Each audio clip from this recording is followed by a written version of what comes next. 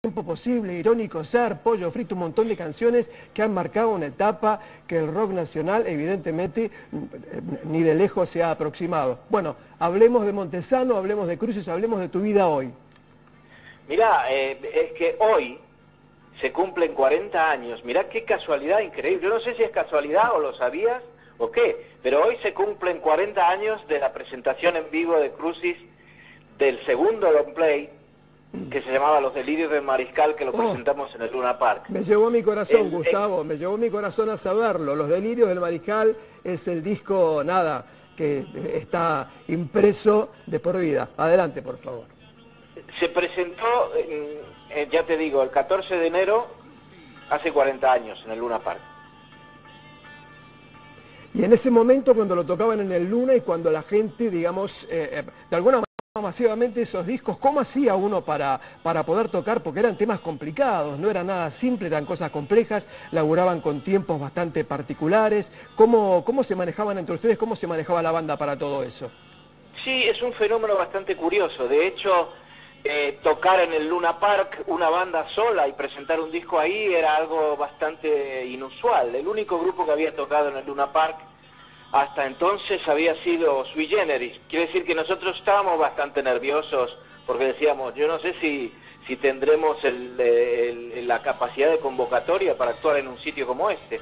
Pero bueno, pues por eso te digo, como vos bien decís, para un grupo de rock sinfónico era una cosa bastante rara pero fue bastante bien, gracias a Dios. Bien, y ahora con tanta movida de neo progresivo, etcétera, etcétera, Marillion por un lado y bandas de esas características, ¿no te da por decir, bueno, estoy en Europa, armo algo, yo que de alguna manera lo inventé en Argentina, no puedo salir a tocar los delirios este 5.1 versión 2017 en serio? No, no, tomame en serio lo que te digo, no estoy jodiendo, ¿eh?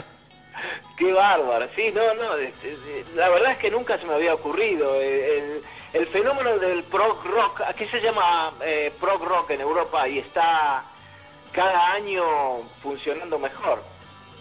Eh, bueno, pero no creo, no creo que sea capaz de volver a tocar una música como esa.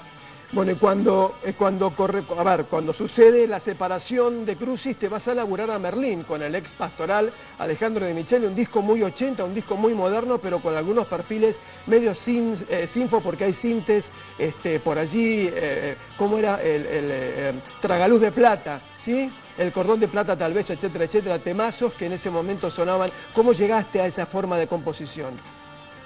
Bueno, de alguna manera eh, Alejandro era cantante, había sido el cantante de Pastoral y, éramos muy amigos y decidimos juntarnos y veníamos de grupos musicales completamente diferentes, no teníamos mucha idea de qué podía pasar. Y tuvimos la oferta de un sello discográfico y de un manager importante que había por entonces en Argentina para hacer una gira y un LP y bueno, nos juntamos y es lo que hicimos. Y nos divertimos muchísimo, lo pasamos súper bien, pero simplemente Merlín estaba calculado para eso, para hacer un disco y una gira, que fue lo que hicimos. Luego yo ya me volví a España, que es donde yo ya vivía. Y reventaste España con Ole Ole, esa banda que tuvo tan buen resultado. Bueno, realmente fue además de un gusto, un honor tenerte aquí en Crónica Rock esta tarde, uno de los, ah, ah, nada, pioneros del rock nacional que has hecho tantas cosas maravillosas y que está siempre presente en todo lo que hacemos. Y mientras estamos charlando con vos, estamos viendo imágenes de un Luna Park y de fondo tenemos este, todo tiempo posible, que el tema que sonaba tanto y que se había hecho como un hit, ¿no? Un hit difícil además, porque empezando con esos tiempos, con esos cortes, era un tema difícil, pero igual había sido un hit. Te agradecemos un montón,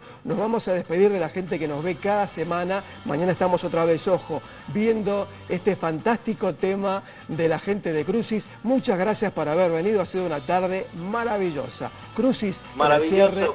Sí, Muchísimas gracias a vos y a toda la gente de Crónica Rock y un abrazo muy fuerte desde España. Muchísimas gracias, maestro, que esté muy bien.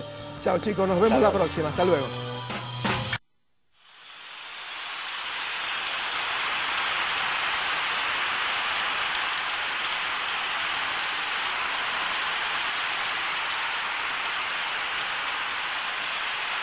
Crucis.